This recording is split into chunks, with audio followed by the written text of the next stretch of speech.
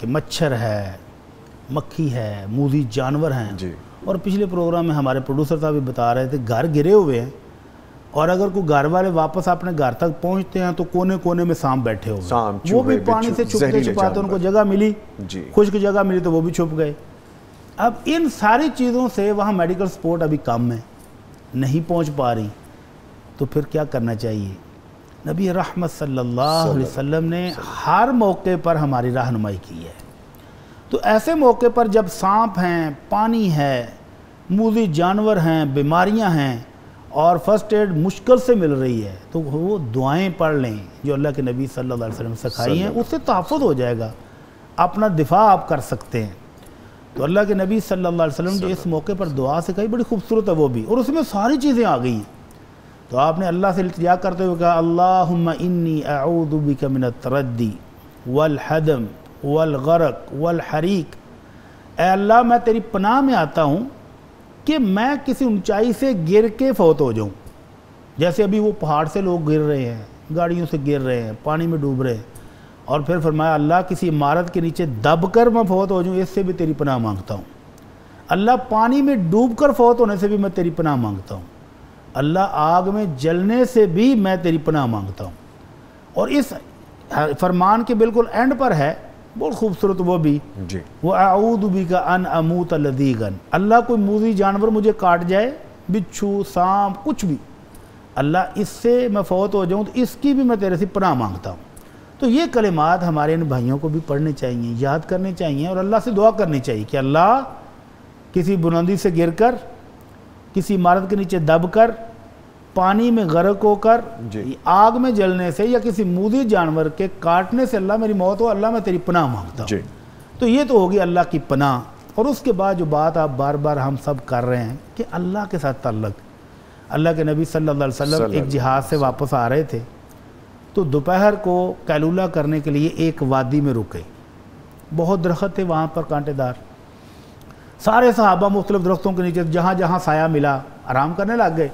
और अल्लाह के नबी सल्लल्लाहु अलैहि वसल्लम भी एक कीकर के दरख्त के नीचे आराम फरमाने लग गए और अपनी तलवार दरख्त के साथ लटका दी, बाकी सामान भी रखा और लेट गए।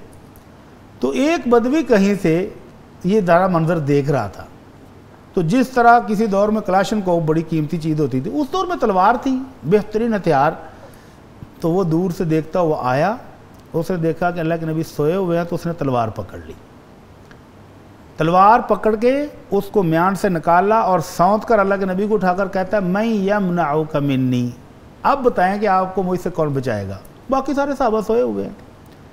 तो अल्लाह के नबी सल्लल्लाहु अलैहि वसल्लम नहीं परेशान हुए नहीं घबराए बल्कि अपनी ज़ुबान मुबारक से वो लफ्ज़ निकाला जो हमारे लिए सबक है कि मुश्किल में ये करना है। जब आप देख रहे हो कि आप नहीं बच पाएँगे सिक्योरिटी कोई नहीं दिफा कोई नहीं हिसार कोई नहीं कैसे बचेंगे? तो आपने ऐसे ऊपर इशारा किया अल्लाह मुझे मेरा अल्लाह बचाएगा। तो पानी आ रहा है। कौन बचाएगा? अल्लाह। मुझे जानवर हैं कौन बचाएगा? अल्लाह। बीमारियाँ फैल रही हैं कौन बचाएगा? मेरा अल्लाह। तो अल्लाह के नबी सल्लल्लाहु अलैहि वसल्लम की ज़ुबान मुबारक से जब अल्लाह निकला तो वो बंदा ऐसा कांपा कि उसके हाथ से तलवार ही गिर गई। अल्लाह के नबी सल्लल्लाहु अलैहि वसल्लम ने तलवार पकड़ी और फिर फरमाया अब तुम बताओ कि तुम्हें कौन बचाएगा? जी। तो आप फरमाया अब तुम्हें कौन बचाएगा तो वो आपके कदमों में बैठ गया तो कहने लगा जी अब आप मुआफ़ ही कर दे तो बेहतर है। और आप बेहतरीन तलवार पकड़ने वालों में से बेहतरीन इंसान बन जाए यानी माफ़ी की दरख्वास्त करने लग गया। तो अल्लाह के नबी ने साहबा को आवाज़ दी साहबा उठ कर आए तो फरमाया ये वो है जो मेरी ही तलवार पकड़ के मुझे पूछ रहा था कि आपको बचाएगा कौन? तो बचाने वाला मेरा तो तल्लक किसके साथ है? अल्लाह। तो मुसलमानों को भी इस वाक़े से पता चला जब हालात मुश्किल हो जाएँ जब आप समझे कि हम बेसहारा हैं सब बेसहारा नहीं है हमारा अल्लाह है ना। बेशक। इन रब्बी गफूर रहीम। तो उस गफूर रहीम के साथ तल्लक जोड़ें मुश्किल खुद बहुत आसान होती जाएँगी। ये जितने भी हमारे भाई अब काम कर रहे हैं वो कह रहे हैं मुश्किल हैं ये भी है ये भी है ठीक है।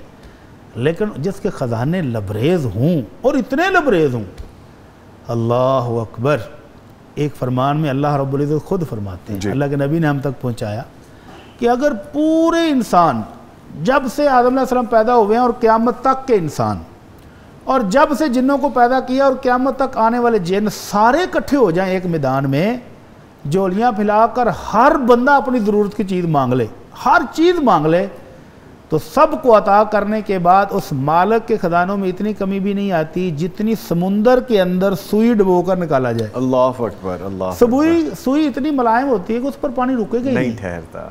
तो फरमाया इतनी कमी भी उसके खजाने में नहीं आएगी जितनी सुई के साथ पानी समुंदर से निकालने पर आएगा तो जिसके खजाने इतने भरे हुए हों उस रब से मांगना चाहिए बेशक। अच्छा उससे मुश्किल आसान कराना बेशक